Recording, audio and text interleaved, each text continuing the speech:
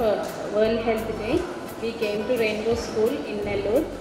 Um, I myself, Dr. Rupa, and our dietitian uh, Sindhu are here uh, to share a few views to the with the children uh, about maintaining good, good and healthy lifestyle under three aspects.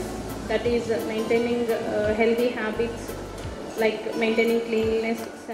So we both are very happy uh, to be uh, with these rainbow kids and spend time on auspicious occasion like World Health Day. Thank you. Very happy uh, with the Rainbow Schools that they have conducted this uh, good program with the students. They are very interactive uh, regarding their health and nutritional status uh, and how, um, how they have to maintain their uh, balanced diet.